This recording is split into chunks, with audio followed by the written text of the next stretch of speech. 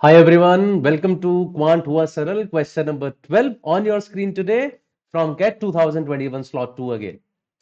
For a four digit number, the sum of its digits in the thousands, hundreds and tens place is 14. So let me make a four digit number 1, 2, 3 and 4. The sum of the digits in thousands, hundreds and tens place, that means these three, they add up to 14. And the sum of the digits in hundreds, tens and units is 15. So sum of these three is equal to 15. Now I see that the middle two digits are common in both the sums, right? In the first sum, we have the thousandth digit. In the second sum, we have the unit digit. The sum increases by 1. So I can straight away say that the last digit is 1 more than the first digit, right?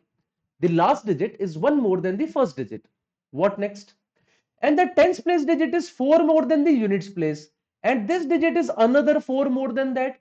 So can I say this digit is 5 more than the first digit?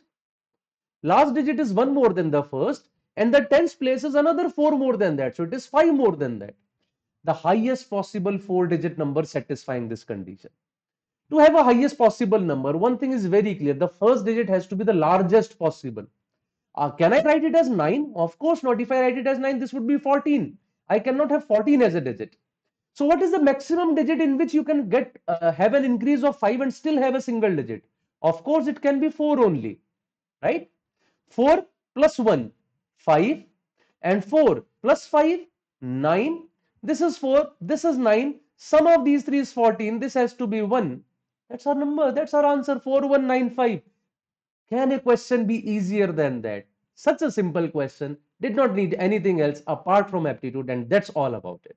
So this is what we call as aptitude. Thank you very much.